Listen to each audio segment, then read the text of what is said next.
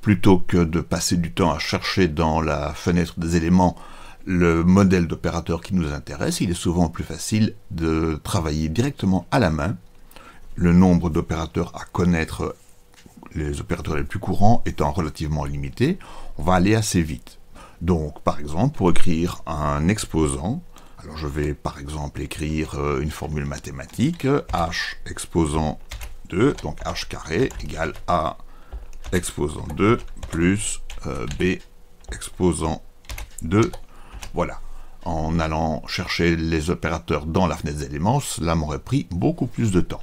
Donc je retiens que l'exposant, c'est l'accent circonflexe. L'indice, qui va nous servir par exemple dans une formule chimique, H2.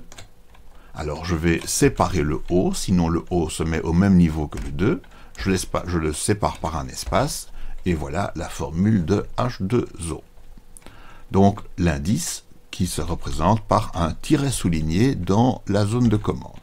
La racine carrée qui en anglais se dit square root, donc SQRT, SQRT de 25 égale 5. Très facile.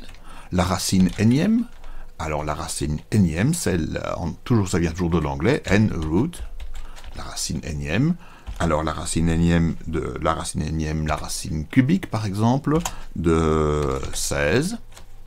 Voilà, très facile à écrire. Et puis les fractions, alors là c'est vraiment tout à fait simple, puisqu'il s'agit d'utiliser le mot réservé over. Donc par exemple, 5 over 10 égale 0,5. On peut bien sûr combiner tous ces éléments ensemble, et donc par exemple calculer que la racine carrée de 100 euh, over 10, ah, ce n'est pas la racine carrée de 100 sur 10 que j'ai là, donc il va falloir que je regroupe les éléments. Pour regrouper les éléments, je vais utiliser le symbole de l'accolade. L'accolade ouvrante, accolade fermante, et j'ai maintenant la racine carrée de 100 sur 10, qui est égale à, bien sûr, la racine carrée de 10.